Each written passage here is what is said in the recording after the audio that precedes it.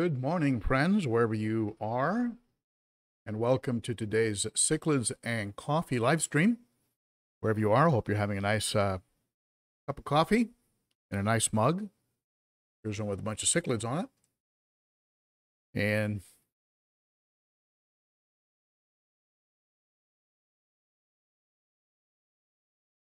oh yeah. So um a lot to talk about today. And I even have a couple previews for you of some upcoming uh, upcoming videos that I worked on. And let's see uh, if I can get a sound sound check and video check from somebody. That would be very appreciated. Let me know how it looks and how does it sound. Always a mystery until I find out find out from you. Chris G. I have no more room for fish. you know, Chris, somebody here locally uh, told me that a friend was selling a 150 gallon aquarium with sump, pumps, heaters, lid, and stand $150. You have no idea how much I suffered when I heard that, realizing that I don't have room in this. I even thought about, like, okay, I can get rid of the 255s. I'll put the 150 against that wall.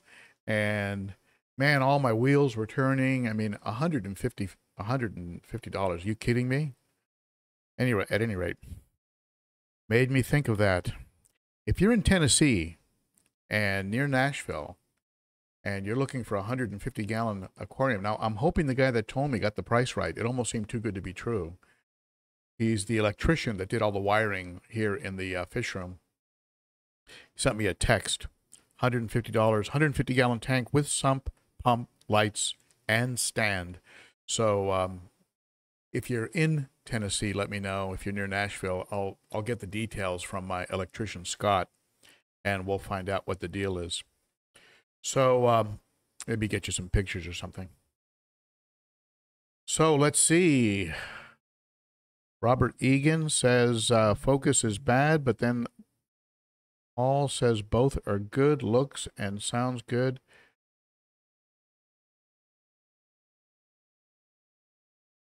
Looks great and sounds great, David Martin. Okay. All right.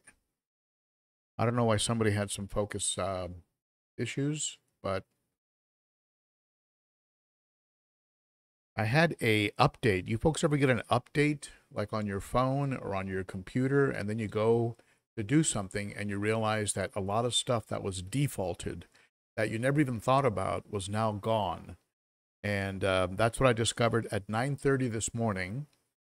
Uh, actually, I'm sorry, uh, 10:30 this morning when I pulled up my uh, my live streaming software, I discovered that the update had actually gotten rid of some vital uh, defaults that I have in my live streaming software. So, um, never a dull moment. So let's talk a little bit about uh, about some of my favorite topics today. Hey, Ricky, Ricky in the house. Welcome, Ricky. Fishman Marcus, Salient Aquatics, Chris G. I mentioned already. David Martin, Paul Paul 165 and Paul 165. Paul, is that 65? Is that your um, your age, your birth year? I'm always interested in these names. Mr. Albidgard is in the house. Shutter speed a bit slow. Okay, yes. I agree with you on that do, do something manually, do like a manual change on that shutter speed. I can fix that. I don't know why the shutter speed automatically did that, but at any rate, I'll go ahead and do an adjustment on that. I noticed in one of the videos I recorded that there was blurring whenever I moved, and that of course means shutter speed. So I'm going to check on that, see what the heck is going on. Paul 165, thank you, Microsoft. this was actually a um, this was actually an update from OBS, which is the um, live streaming software that I use. All right, so let's go ahead and officially start this live stream. What do you what do you say?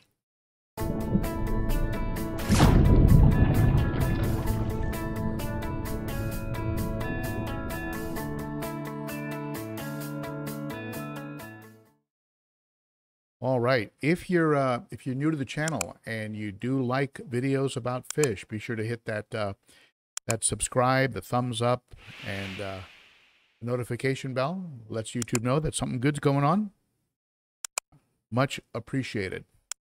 And uh, big shout out to my channel sponsor, the Cichlid Shack over in Tempe, Arizona. Be sure to use Shack Attack 10 if ordering food or supplies, meds, things like that, and use Shack Attack 15 if you're ordering fish and it's over a $100 order. Discounts do not apply to shipping. He simply charges you what he has to pay. So, uh, big shout out there to James out in Arizona. Every fish you see in the tank behind me was from the Cichlid Shack. All right. Also, a big shout out to, uh, let's see here. Let me see if I can pull it up. There it is. Big shout out to the Patreon members who support the channel with a monthly contribution. They are very, very appreciated. What you see uh, scrolling across the screen are what are called my founding Patreon members, those that are jumping on in the first year. So thank you so much for your support. And also remember that we now have we now have available I can find it here. We now have an Oscar mug and a um, and the t-shirt that folks were asking about are now available at Teespring. Just go to Teespring and you can pick up one of those Oscar Oscar new Oscar mugs. I'll move the Teespring. Let's see here. Let's move the Teespring link. Can grab it. There it is. That's my Teespring link that you see on the screen there. So anyway, that's enough for commercials. Any questions about Amazon, Teespring, or anything like that, the uh, moderators will be happy to answer. How am, how am, how I am? Well, that's an that's an interesting YouTube name. I am how I am. Okay. I remember Popeye used to say, I am what I am. And let's see here.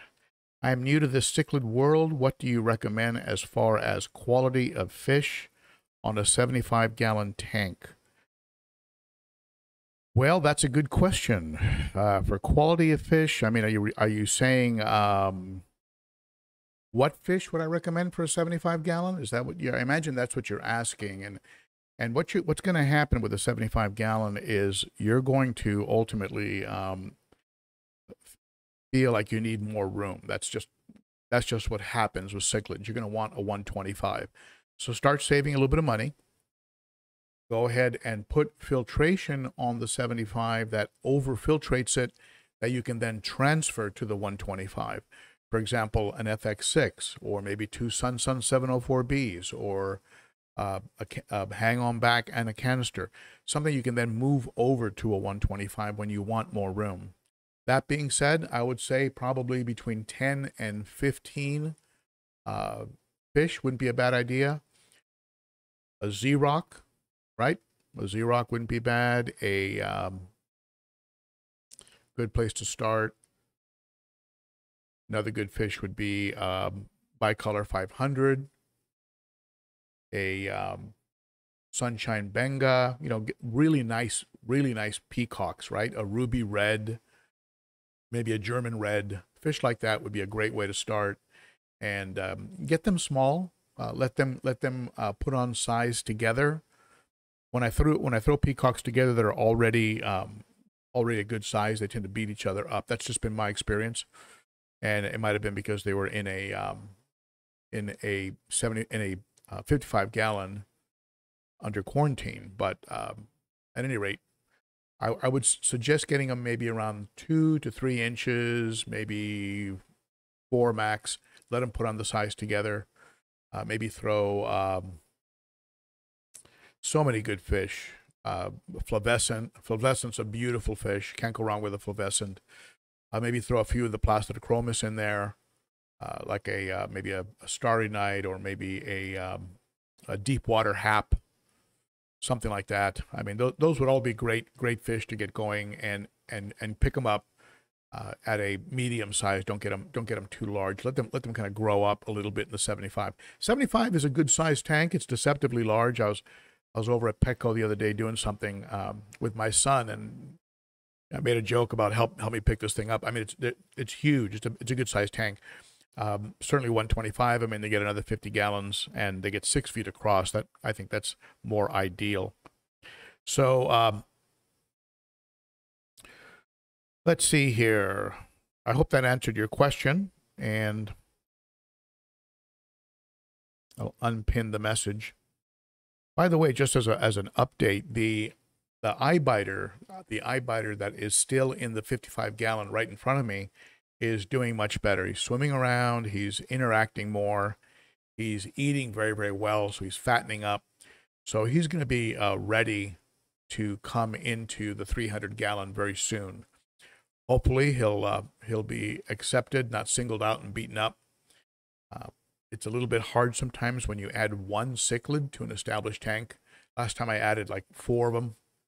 So I'll probably I'll probably give the fish a good feeding and turn the lights out and then add him so that when the lights come back on, it's like they don't know. I get you've always been here, I guess. Uh, they're little fish brains, but I will. Um, I'll probably go ahead and uh, do it like that and bring him over and see how he does and just keep a close eye on him.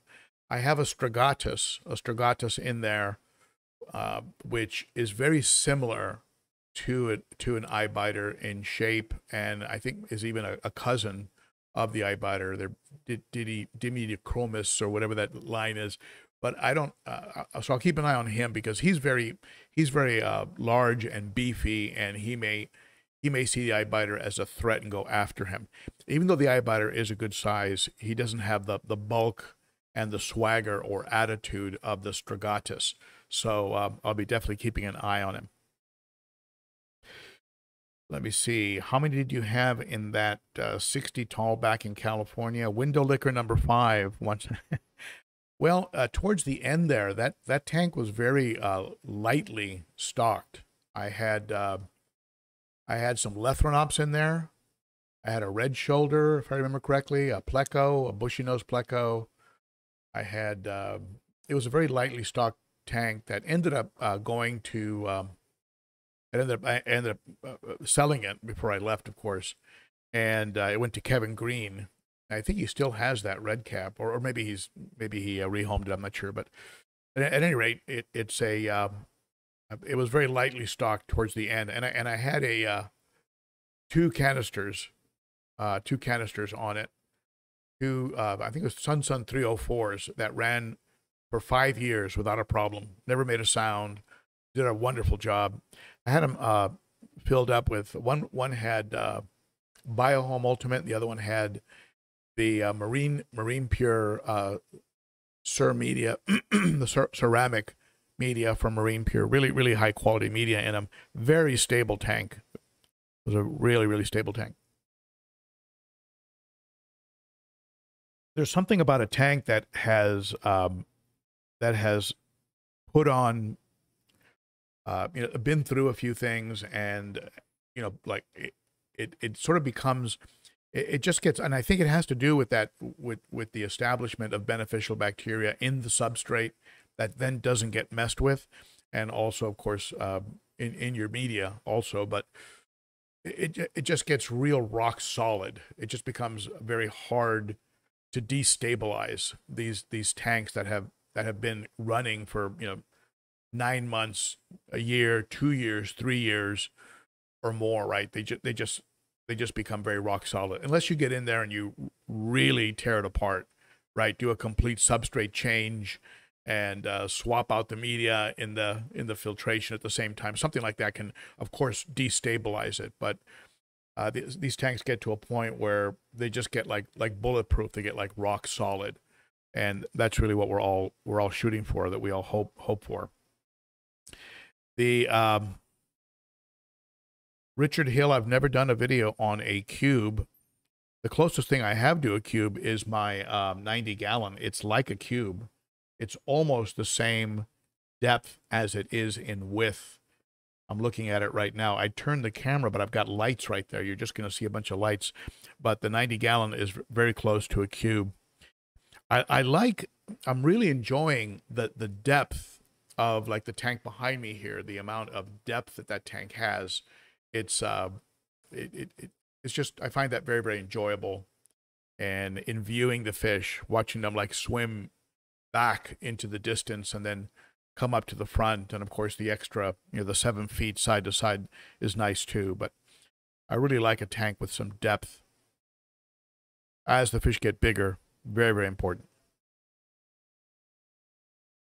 Uh, Salient aquatics, I've never really gotten into blood parrots. Not really a fish that I am that crazy about.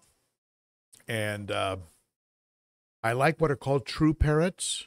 I like the way they look. The blood parrots, if I'm thinking about the right, the same fish, they almost look like like one of those toys where they attach eyes that have the little black things that move around in them, and and uh, they they they just seem like um, I don't know. They just don't appeal to me. They just don't. don't they don't. They don't. Uh, I mean, they they look cute. I'll admit. They kind of look like to me like some of those uh, fancy goldfish that that had to have been, uh, you know, you know, continually, you know, genetically and, you know, hybrid, hybrid, hybrid to get to that point because it would have never survived in a natural selection environment with, with predators, right? Some of these big fat goldfish that can barely swim and I mean anything really could come around and just and just scoop it up without a problem. So um, uh, kind of reminds me a little bit of those fish. But no, I don't. I don't think I'll. Uh, I don't think a red parrot. Is, but I can't say never say no. I, I never thought I'd have an Oscar, and I never thought I'd have a betta. And uh, here I am. So never, never say never. All right. So let's see here. I'm looking at the chat. If, when I look down at the uh, at the computer here.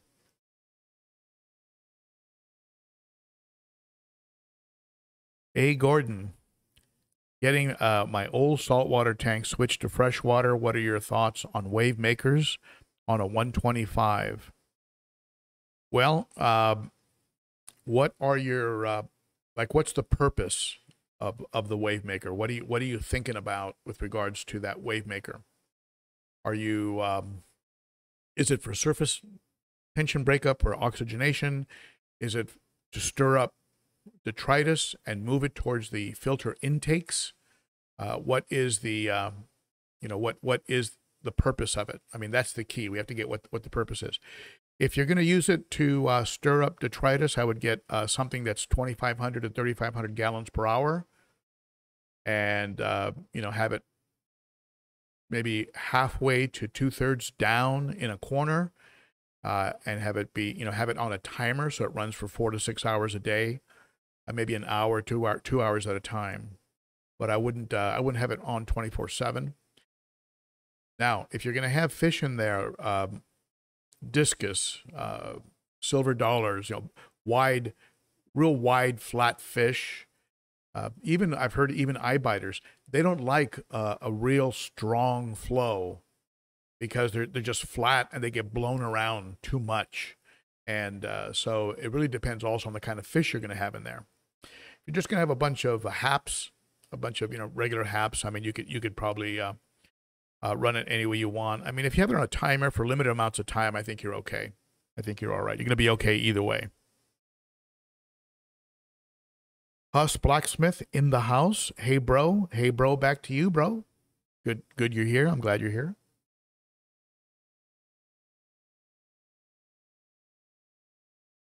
Let's see who else has jumped on. Yeah, Aquatic and Pets. Very nice. And let's see who else. Whips World in the house. A. Gordon. He's the fellow who's converting that salt water to fresh water. Fishman Marcus, we said hi already. Andy. Have you used lava rock as a substrate? Yes, I have, Andy. I actually have a video. I have a video on uh, maybe one of the uh, moderators can can pull up. I have a video on power heads. I think it's just called power head and wave makers. Yes or no? I think that's an, an older video. I also have a video on um, on your question as well. So maybe one of the uh,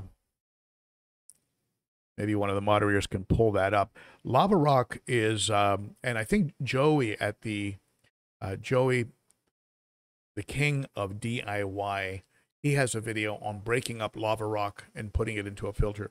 I think it's it's it's great. I think it has a lot of um, you know it provides a lot of surface area, a lot of pits for beneficial bacteria to populate. So just break it up into uh, maybe quarter sizes, like the size of a quarter, and uh, you know wrap it up in something like you know like a towel, and then just lightly bang it with a hammer and break it all up. You'll get you're going to get a lot of dust, a lot of small chips that you're not going to use, and uh, just throw it into and you know give it a good rinse, get all the dust off of it, and throw it into your filter. It, it's a very inexpensive, and uh, it's just a it, it, it's a good medium, I think. I have um, I even have a bag of it laying around from an, from uh, from having broken some up. I even gave away some bags at one point of lava rock. That also gets into the area of pumice. You know, you get into uh, matrix like Seachem matrix uh, media is basically pumice, pumice with you know thousands of little micro openings, and you can also buy uh, common garden pumice and use that, and that also works as a very good Media, I think you get like a 25 pound bag for like 20 bucks. I don't know. It's not too expensive. Any other questions? Go ahead and ask them, and then I'm going to go ahead and give you a preview of a couple upcoming videos. Robert Egan, you're going in and out of focus. It it might, you know, Robert, I, I think it's it's my shutter and I need to do an adjustment on the shutter. I'm not going to do it on the fly. But um, yeah, I don't know why it, it did that. I haven't changed any settings, but I'm gonna need need to take a look at that. And uh, so yeah, I I apologize about that.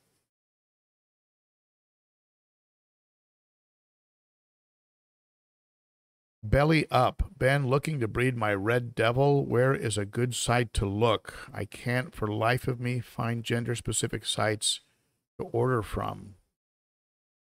Wow. Um, you got me. I've never really done much or anything with Red Devils. If anybody here on the uh, stream knows anything about where to get Red Devils, I mean, you could you could maybe send an email or call up and see if you can get a hold of James over at the Cichlid Shack. Uh, tell him Ben sent you, and he might have um, a line on where to get some Red Devils. Not sure if he carries them, but if he doesn't, he certainly would know where. Uh, other places that come to mind on Red Devils? I don't know. I just do a general Google search, see what you can find. And then and then being able to sex them, that would be a whole other issue.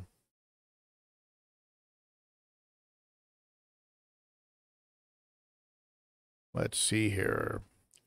Michael Welsh. Now I want an Oscar, but don't have the room. I get it. I get it they grow very fast, and and even though, even though a um, you can buy them, you know, you buy them relatively small. I've heard that they will will that they grow extremely fast. So I'm waiting to see what happens on mine. I mean, they're they're hardy. They're definitely hardy. Incredible eaters. Absolutely incredible eaters. So let me go ahead and and uh, share with you a preview a preview of a couple upcoming videos. And something uh, kind of interesting the well something i'll share with you. When you film a video it's real it's real different to sit and just talk to you about something. That's real easy. And the hardest videos to to to film are the ones that that involve a, a process like doing something. And and I, for for some reason, I, I decided to do two back to back videos that involved like actually showing something. and one of them was uh, having to do with with a water change, doing a water change in an aquarium that has a sump. Some of you have asked me, how do you do a water change when you have a sump? What's what's the difference? What do you do? What do you don't do? So I went ahead and, and, and did that video, and and the other one was uh, creating a uh, a new aquarium for uh, for my betta fish, Mr. Mustard, right? My mustard gas uh, betta, creating a a a, a new uh, a new aquarium for him, and that's going to be coming out in a. Uh, it's going to be coming out for a a, a it's going to be com- coming out at, entitled Betta Duplex. I think is the name of that video. I'll go. I'll just go ahead and share it with you. It the beginning of the video. What you're going to see are the two fish that I, uh, or you, you can see two pictures of a fish that I ordered. I made the mistake. Uh, I say mistake, wasn't really a mistake. I made the mistake of watching that video by uh, by John talking about how he felt he had the best betta enclosure, the best uh, display system enclosure for bettas on YouTube, and uh, I, I gotta agree. I gotta agree. He nailed it. He he really did nail it, and uh, so I got so inspired by watching that video that I went ahead and went to the KG Tropicals website and I ordered a betta. It was one of those complete, uh, you know, fish keeper, fish lover impulse purchases that you that you do sometimes, right? You make the purchase, and then after you do the purchase, you go, "Where in the world am I going to put that fish?" now I have a divider for that little aqua top that the mustard gas was in, right? But that would give each betta like, I don't know what, two and a half gallons, which is certainly better than the cups they keep them in at the uh, at the fish stores, right? But I didn't want to do that. So instead, what I did is I um, I had one of those dividers from Life with Pets, and I think I did a video on it. Something every fish keeper should have, I think, was the or every cichlid uh, keeper should have. It's a divider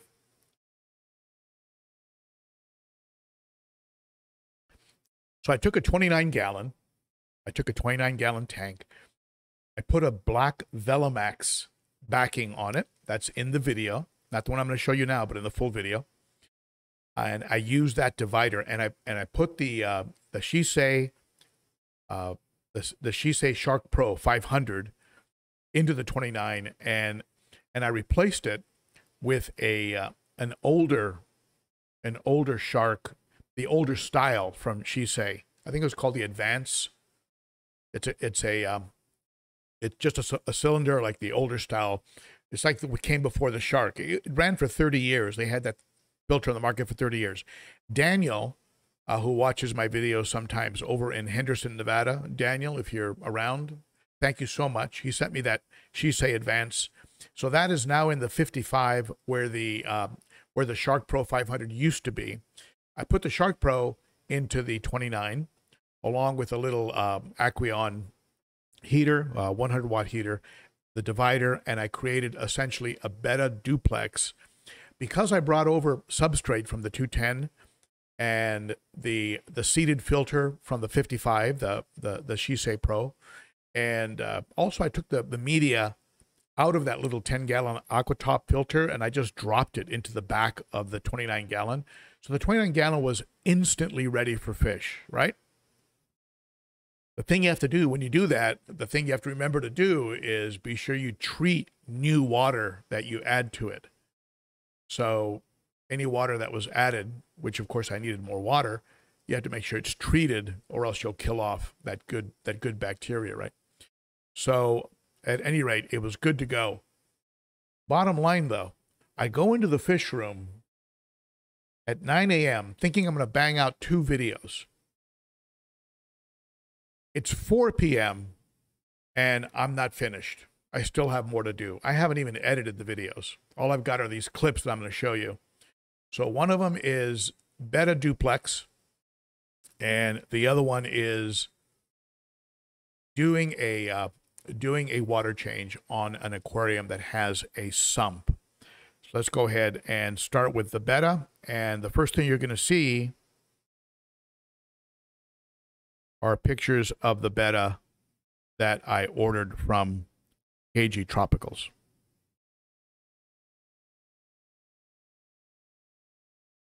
There he is. I was looking for a koi type of betta. I wanted some red in a betta. And uh, this one was the closest. The closest that they had to what I was looking for. As you can see, he's a he's a beauty. Just a real beauty.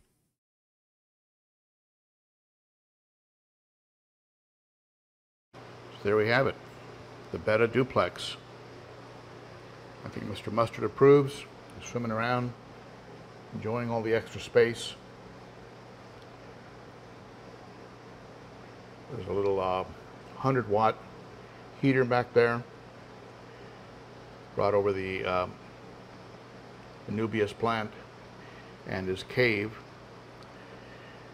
And there's a Sicce Shark Pro back there, 500. Turn the bubbles off. He doesn't need the bubbles. Bettas like it nice and calm. Some of the items from that Fritz Nature Box are starting to settle. They were floating at first. Some still are, like this almond leaf up here. You can see the substrate from the uh, 210 gallon. That brought over a lot of uh, beneficial bacteria, as did the uh, media that's in the Sicce, which was in the 55 gallon with the eye biter. I also uh, I also dropped in the media that was in the uh, filter in his little Aquatop tank. You can see it back here. That's the media that was in the Aquatop, Aquatop tank that he was living in previously. So that's tucked back there in the corner temporarily just to bring over more beneficial bacteria. There's a little clip for you, and you can see it behind me. I'll turn the camera.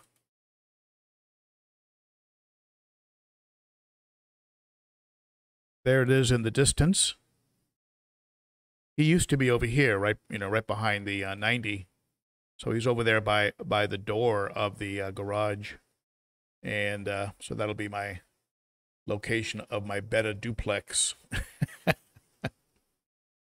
so, uh, any thoughts, questions, ideas about that? Let me know. I did add um, things like acorns and twigs and things that came in a thing called Nature Box from Fritz. It's supposed to give you a, a black water situation. And I think some people hit me with some super chats. Let me go back here. Somebody did a super chat. Let's see. There we go. Robert. Hey, Robert. Thank you, my friend. I appreciate that. Even though you're getting a little bit of a blurry uh, picture, which I apologize, I will have that corrected by this coming, uh, by the next uh, live stream, I promise. And looks like uh, Huss Blacksmith. Huss Blacksmith comes in with a super chat. Thank you, Huss. Appreciate that. The Red Hook Silver Dollars. Chris G wants to know about the Red Hook Silver Dollars. I am waiting to hear back from James over at the Cichlid Shack. I'd like to get like four or five of them and uh, and then put them into and then put them into the 210 So let's see here.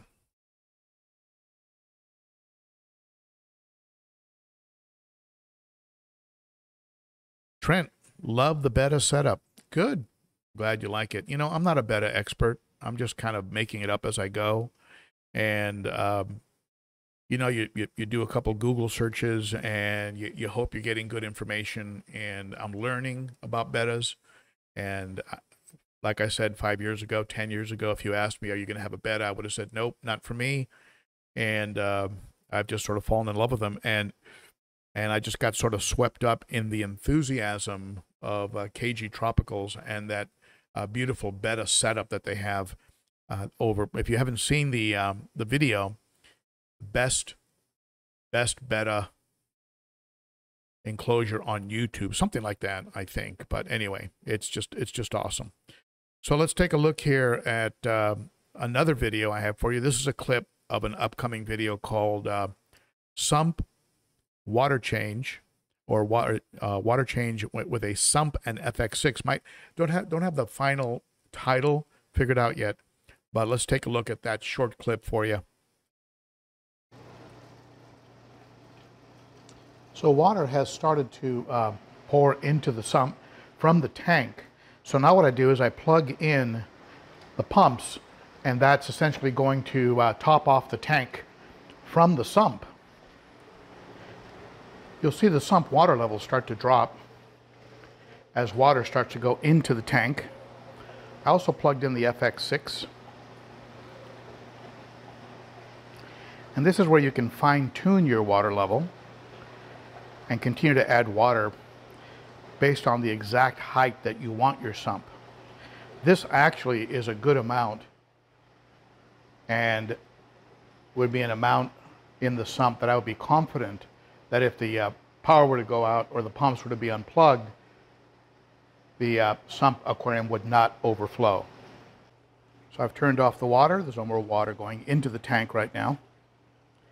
And that's about the level the sump's going to run. Now during the week, that level might drop an inch, maybe an inch or two. I'll go ahead and top it off directly into the sump, giving the fish a little bit of uh, a freshening up of the aquarium. And then at the end of the week, I'll go ahead and do a water change like this one. So there's a clip. Now, naturally, in the videos themselves, there's going to be a lot of details uh, for example, on the setting up of the um, of the Betta duplex, I go ahead and get into how I attach the Velomax to the back of the tank to give it a black background. Kind of funny because I just added the white background to the uh, to the Betta tank, and uh, I I get into um, just a lot more, you know, a, a lot of the nuance in setting those things up, and also in the water change, I show how I use the um, how I use the FX6 to drain the 300 gallon. I use the FX6 uh, canister to drain it. And uh, I get into some of the steps, the housekeeping steps I'll take. But the main thing is I, I really work on, on getting rid of the myth.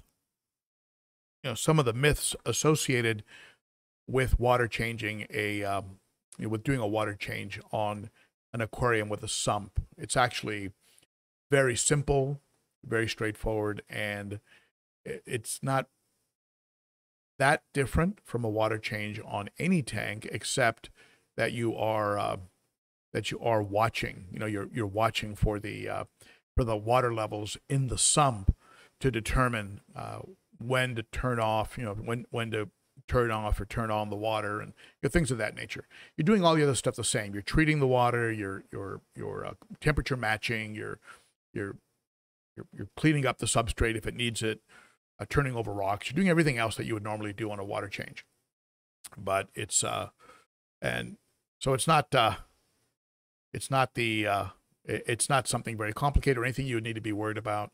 And in fact, it's actually very very simple, and you just have to be on your toes, which you have to be on a regular water change also. You can't just go wander off and uh, get involved in something because you'll come back and you'll have water all over your floor. I've done that. I've done it uh, once with a sump back in California, and I did it, uh, and I've done it on aquariums with hang-on back filters that I was filling up. You know, you get going on, you know, on Facebook or TikTok or whatever, and away you go. Or you're talking to somebody about something, or you get on a phone call, and all of a sudden you hear a splash, and it is a horrible feeling so, uh, Huss Blacksmith is asking uh, about adding carbonate powder after a water change. I mean, if you're looking to buffer, I mean, I've heard that's a, that's a uh, one way to buffer. And what is that people recommend? Uh, is it baking baking soda? There's some inexpensive ways to buffer an aquarium, but I've never done that. I've never um, added carbonate.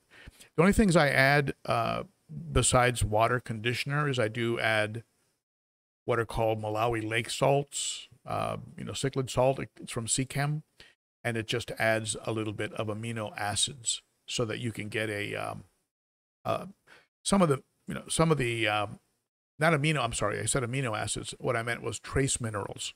It adds some of the trace minerals that are found in Lake Malawi, which the fish then can absorb, you know, with that sort of that osmosis thing that they do right through through their scales.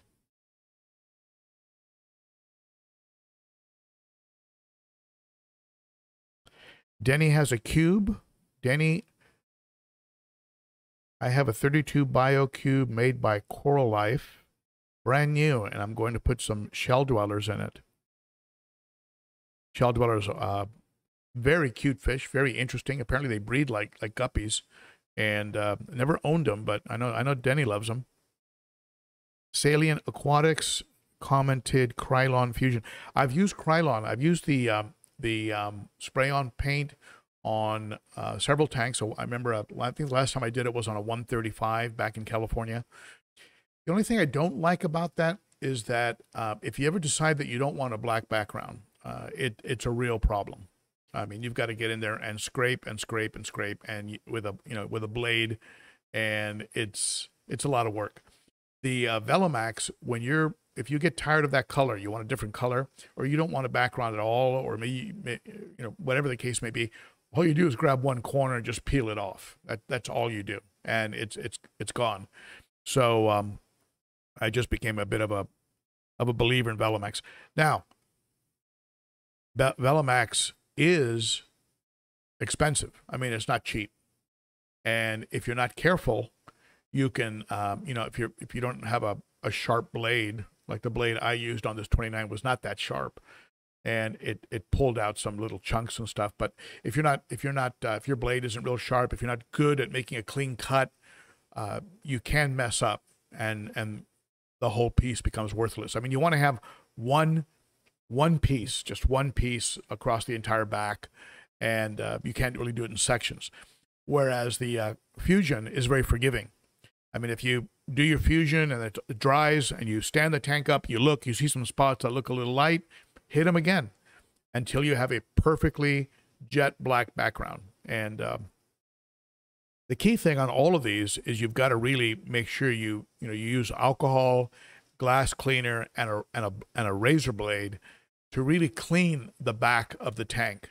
It's amazing how clean it can look, and then you run a razor you know you run a razor over it and you're picking up all these little fragments of silicone and all kinds of stuff that you didn't didn't really know were there, but would probably show up after you put the background on. So definitely uh, you want to do a heck of a cleaning.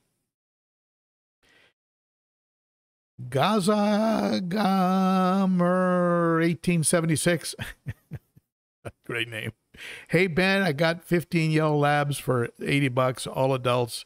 Owner told me they breed like rabbits. Is that true? Yes, I've heard that's true. Be sure you provide them with a lot of cave work, and if you can, uh, stack your caves. Right, give them a give them a condo, give them a a condo unit with a lot of different floors. You can stack your caves, and they'll claim them at different levels. Very cool, and uh, they'll claim a cave, and you'll get you'll you'll get a lot of fry in there. I'm not sure I'm not sure if they um, if they actually. I'm not sure how viciously they defend their fry. I'm not sure how territorial they get when they're breeding. Like some fish try and clear out the whole tank, right? Um, so I'm not sure about that, but but one thing I do know is people that have labs are always telling me, "Hey, I got some fry swimming around in there. Uh, don't even know where they came from. Didn't didn't even know one was holding. I just got more fry. So yeah, they they are a little bit like rabbits. Uh, Chris G, I'm confused. What is the reason for the coarse, medium, fine?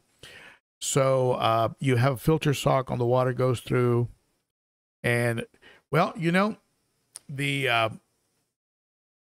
I'm the way I have mine set up are like super polishing the water, right? Because there's no better pre-filter than a than a sock. I mean, a sock doesn't really let anything get through. I mean, everything gets gets caught by a sock. Uh, but if in the rare chance that something does, or let's say the sock is overflowing, let's say I'm I haven't looked at the sump in a few days and the sock is blocked and now it's pouring out over the top, which can happen. Then uh, any particles that get through, the bigger particles would get captured by the coarse media. If they get through that, the medium would catch them, and finally, the fine would get them. So what you're doing is you're sort of you're you're doing sort of a pincher move, right? You're it, you're creating the whole the smaller and smaller hole that things can get through, and then at the very end, some people will throw a bit of polish, uh, polishing media at the end as well, just to super polish the water. And I'm kind of of that of that school. I like to super polish, or even if I have chemical, uh, me, you know, like a chemical agent, like a like a ChemiPure or something like that, um, Seachem Purigen. I still like to have, uh, you know, after that, do a little polishing. Someone will say, well, gee, shouldn't that polishing have gone before your bio? You're missing the, if you think that, you're missing my point. My point, I'm not, it, it's already been really, really, really cleaned up before it hit the bio. At the same time, uh, I'm just doing, uh, what I'm doing is I'm doing just a final, a final polish before it gets to the tank. So um, I'm pretty excited here because I can see behind the camera the eye biter uh, swimming all around, checking things out. And uh, I love it when fish start to come around. And for those of you who have quarantined fish or brought back, you know, brought fish back from illness or or healed healed a beat up fish, I mean, you know what I'm talking about. It's it's so much fun to watch them actually come around and do better. And so uh, I'm watching that take place during the live stream here. So, my cat Max, I have heard so much about anoxic filtration and plenums, and I know very little to next to nothing about them. So, uh, you're asking the wrong person. I know that the person that talks about it a lot is a, um, I think it's a, a person that has a PhD so I'm assuming they they really know what they're talking about. Uh, they make these baskets uh, with a special kind of material in it, some kind of a clay or kitty litter. I don't know what they're doing, but um, apparently they get very low nitrates and very good water quality. It's not an area that I'm that I'm really that familiar with, and I haven't really gotten into them only because I get I get great results with what I'm doing, and so I'm not really that uh, don't feel like I really need uh, to do something about that. So let's see here. Yeah, Chris, that's my secret. That's why the tanks uh, look the way they look. The sparked brain. I love that. This is just the sparked brain. Dr. Novak. That's right, GP. Dr. Novak. So I'm assuming he's really a doctor not like necessarily uh, Dr. Seuss or other folks who are called doctors that were not doctors. okay, let's see. I'm I'm scrolling back over your uh, your comments and questions.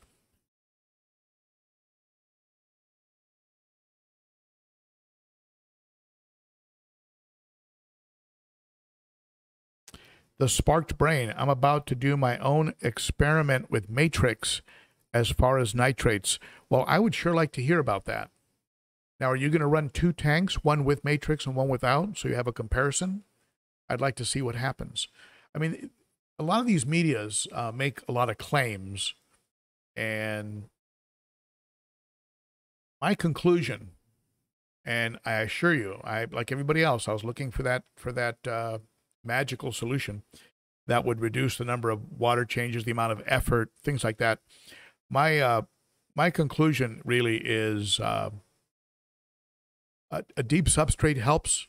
You'll get uh, aerobic and anaerobic bacteria going, especially if it's sand and you leave it alone.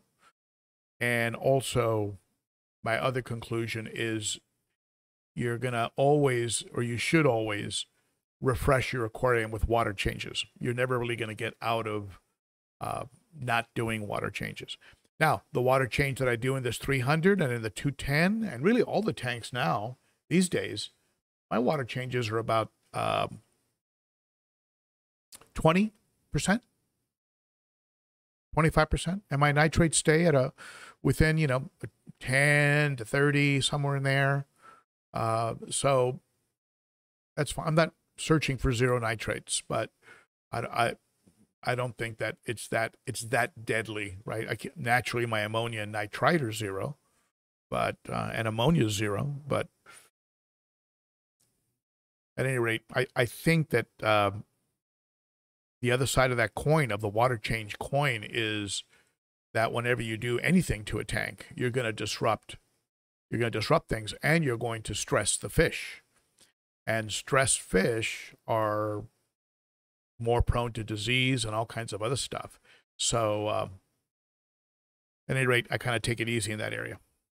Chris G, Caveman Aquatics, has done that experiment with the Matrix, but I have not watched that video. Yeah, I'd be curious to know how he did that. You know, how how strict of a of an experiment was it? I mean, was it truly an experiment? Was it very anecdotal? A lot of what you hear on YouTube, including from me, is really just personal experience, and and you have to realize that comes from my combination of fish, the water that comes out of my tap, uh, what I have going on with the, the kind of substrate I'm using, the kind of the way I dose my tank. Uh, there's you know, there's a lot of moving parts. It truly is a fluid situation. So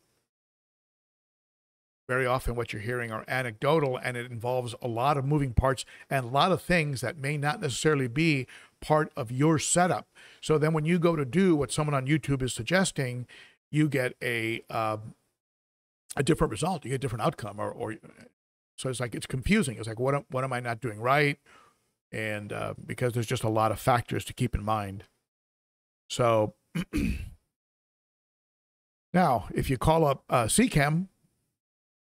if you call up Seachem and ask them about zero nitrates, I mean, I'd be curious to hear what they have to say.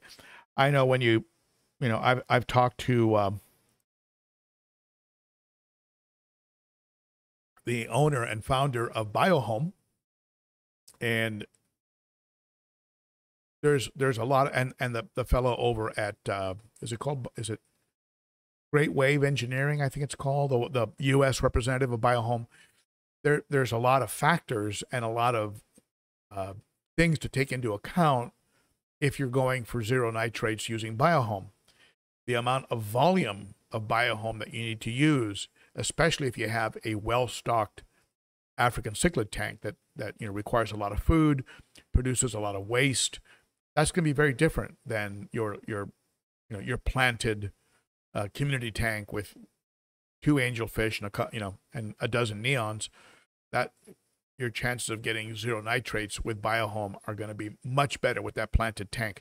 You have other stuff working for you. The plants are working for you, and and um, so it's a different scene. So, all right, hit me with some questions. Jay Fuller, Caveman Aquatics. On Caveman Aquatics, it took four months for that system to make a difference. Well, you know, I'd expect that. You know, you know, when when I started using a, a deep substrate for stability in my tanks, I can I can uh, tell you that I I really felt like the tanks were uh, were seasoned, to borrow a term from Corey at the Aquarium Co-op. I really felt the tanks were seasoned uh, after about six months. About six months, and I did some things before that six month point that I thought the tank would let me do because I felt it was stable enough and it wasn't. And I ended up uh, with some fish loss. So it took me about six months before I could I could go into a tank and really mess around and know that it was still going to really hold on and not not spike ammonia or or a nitrite. And Chris G, yes, Caveman Aquatics is actually um, sponsored by Seachem. And when you go to Aquashella, he works the Seachem booth. So, yes, he has a very close relationship with Seachem.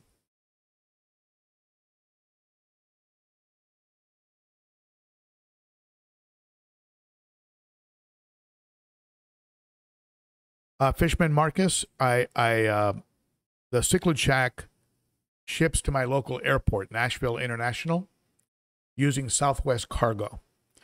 So uh, on this last shipment, he shipped like a, a Monday evening, and I went and picked him up Tuesday morning. So it was a, a very fast turnaround, and I love it. I love getting them that way. It's not cheap. You're going to pay sixty to seventy dollars, and that was for three boxes. I think I, I think it, that that's up to as much as three or five boxes. So if you're going to order fish, you know, save up save up some money, and and and and pick up five or six dream fish, and uh, you know a couple tubs of extreme, and and you know just it's one shipping cost, and just bite the bullet. And when you spread it out over the number of fish, it's not that bad. It's not that bad.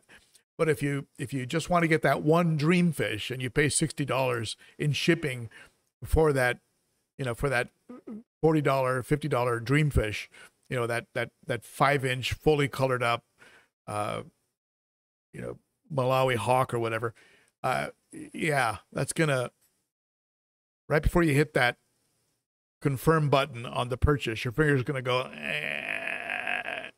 So yeah, get get a you know get several fish, and the shipping isn't that bad. It ends up being about as much as you'd pay in today's gas prices to drive to a far away to a far away uh, pet store.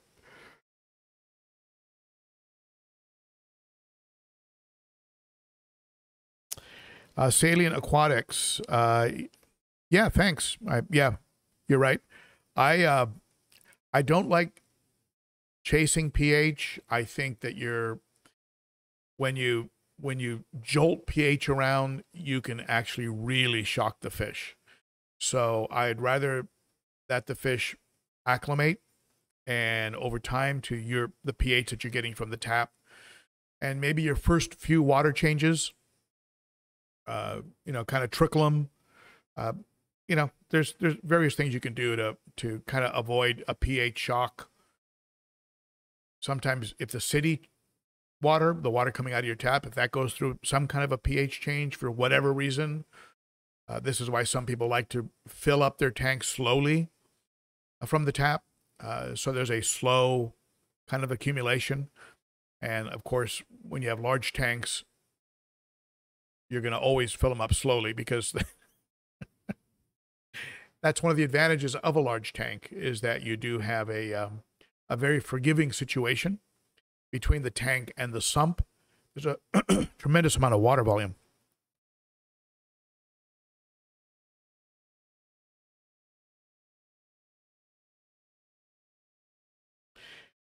J. Benitez Reptiles.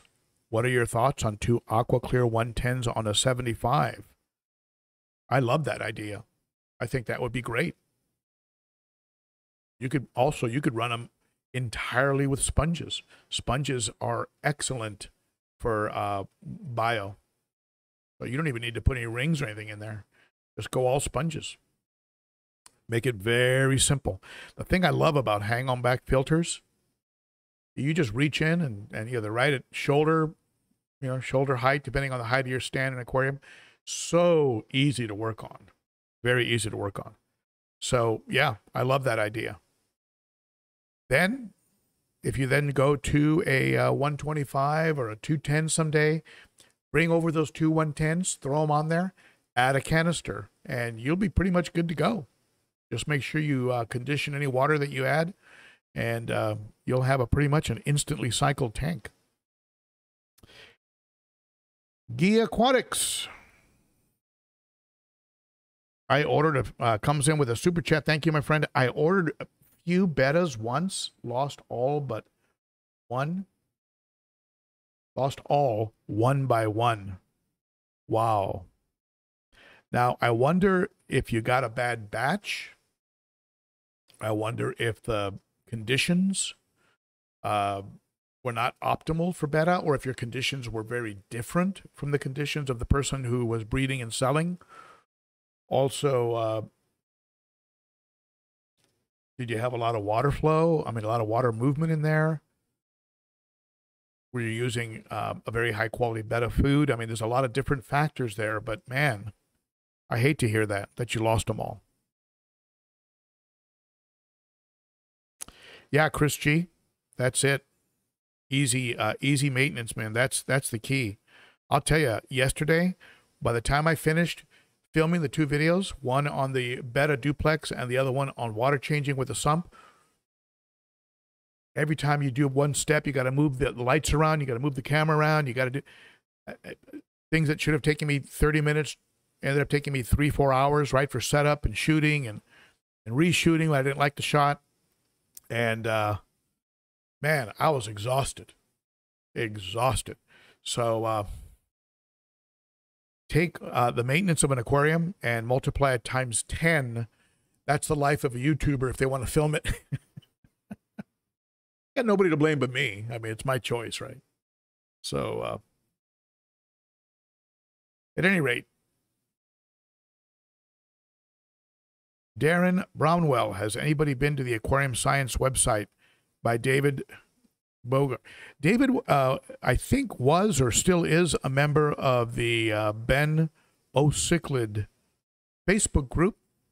Ben O apostrophe Cichlid on Facebook. Check out that group. Very friendly group.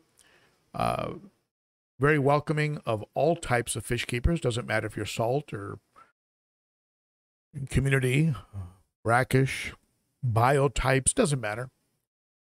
And uh, he used to post up there. People would get on him because they would question the science of it, like how how strict of a science is the science? I mean, was he doing controlled studies? Was it, or is it anecdotal that is being called science? So some people would jump on him about stuff or disagree with stuff, and but um, I think his intentions are good. I think that he's trying to put together a, as accurate information as he can.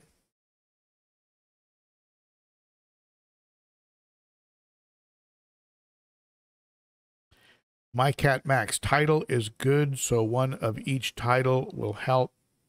Now, his Tidal, Seachem Tidal, if I'm not mistaken, Seachem Tidal is the one that's made by uh, Sicce in Italy. It's actually made by Sicce, but marketed by Seachem.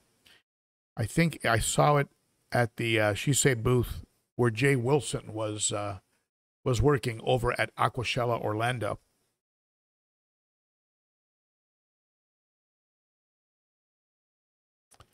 So let's see here. Salient Aquatics. I am due for a um, Garage Gang. This is a Garage Gang shirt. I am I'm due for a, a new Garage Gang video. I um I did one that was supposed to be exclusive for the Garage Gang. I don't know if you remember that, but I ended up uh, uploading it to YouTube, and it uploaded public, and I didn't want it public. My YouTube videos always upload uh, private or unlisted, and then later on I work on them. So I uploaded it before going to bed, and then went to bed, and the next morning I woke up, and I referred to it as the genie had gotten out of the bottle it somehow was public. And I think my, my, my takeaway was don't upload late at night when you're tired. So that was supposed to be only for the Garage Gang and ended up being everybody's video, which so you got to look at a behind the scenes and you got to see where I store my bicycle here in the uh, in the fish room. But yeah, I, I think I'll be getting up uh, getting some more uh, videos for the Garage Gang, exclusive Garage Gang videos will be uploaded. I'll also be giving you uh, what are called early access. So um, I think if I upload a video private, but provide you with the link, you can watch it before the public watches it. So some advantages to the uh, some advantages to being a Garage Gang member, apart from just knowing that you're helping, which is uh, very very appreciated that you folks are helping me out with that Garage Gang membership. Tristan's Fish Room, would you put Frontosa in a longer, narrower tank or a shorter but deeper? Same amount of gallons. Well, I think they probably they probably wouldn't mind either one. I do know from folks that I've talked to who keep Frontosa that they do like a species specific. They like to be with other Frontosa. They also like to be in a um, a tank that isn't too well lit. They don't like a very bright tank. Uh, but otherwise, I think they'd probably like both of those. I'm thinking over time, they might like a uh, a deeper tank only for the turnaround room because they become very very big. I mean, they get what 10 inches or more, but we're talking uh, 15 years, maybe around 15 years. I mean, they they get, I mean, massive. I think they fish them and eat them, right? Don't they eat them in East Africa? But yeah, they get they get massive, massive fish. But I think yeah, either one initially would be fine.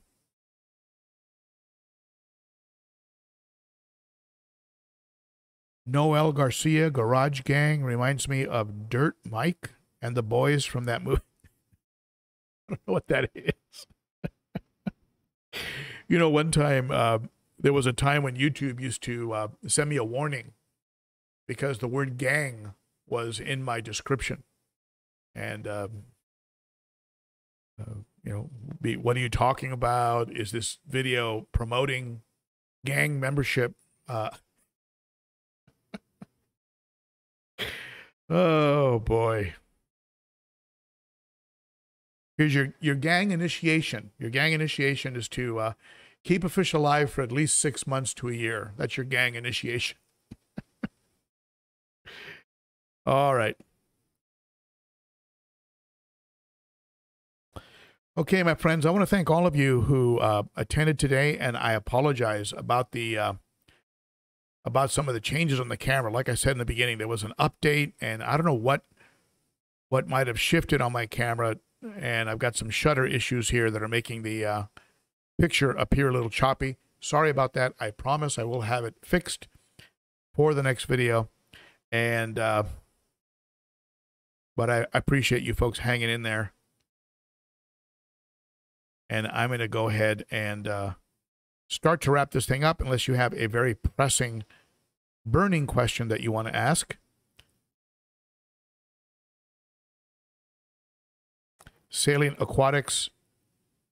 Our, uh, yes, timers are, I love timers. Love timers. Uh, Richard Hill, good company to purchase artificial plants. Richard, I used to love, um, of course, I used to love Elite Cichlids. They're out of business now. So I would say do a um, do a do a web search. There's so many out there, and uh, whether you're getting them from China or from uh, you know PetSmart, Petco, uh, your local fish store. I mean, they're all from. Uh, I think they're all from China anyway. But but the uh, but yeah, there's uh there's a lot to choose from out there, and sometimes they discolor, sometimes they become uh, covered in algae. All you have to do is pull them out of the aquarium, put them in a uh, bucket of water with maybe a quarter cup of of uh, bleach, just plain bleach. Leave them overnight, give them a good rinse, and they come back to like brand new. So uh, don't don't get uh, don't get silk Sometimes they sell silk plants, and once some algae gets going on silk plants, they're just destroyed. Just go with your basic, good old plastic and uh, try and get them as realistic as you can. If you get them very detailed, very, very detailed, uh, you're going to find that they're very hard to clean. And that is the one complaint. And the one thing I loved about Elite Cichlids. I love the detail, but I also uh, I also hated that when algae got on them, right? It was like very hard to clean off. But so I was in a love hate relationship. That being said, if they were still around, I'd still be getting more plants from them. The uh, cave that you saw in the betta tank, those that was from um, underwater galleries, the underwater uh, underwater gallery caves. If you're starting a, a Mbuna tank, consider picking up some caves from underwater galleries. I'm not sponsored by them. Stack them up, make that uh, make that Mbuna condo. So I think it'd be awesome. Cat Sailor, you are welcome, and uh, I hope you enjoyed today's live stream. And USL, thank you so much for being here. And Sparked Brain and Richard Hill, thank you for stopping by. Jay Filler. And is that Jay Filler or Fuller? Jay. I was moving it as I was reading it. Jay Fuller and my cat Max. Love that name. Noel Garcia. Thank you everybody for being here. And Tristan's Fish Room. And Darren Brownwell and Whips World and Paul 165. You folks are the best. Thank you, moderators. And uh, I think with that, we will go ahead and end off. Never forget, you rock, my friends.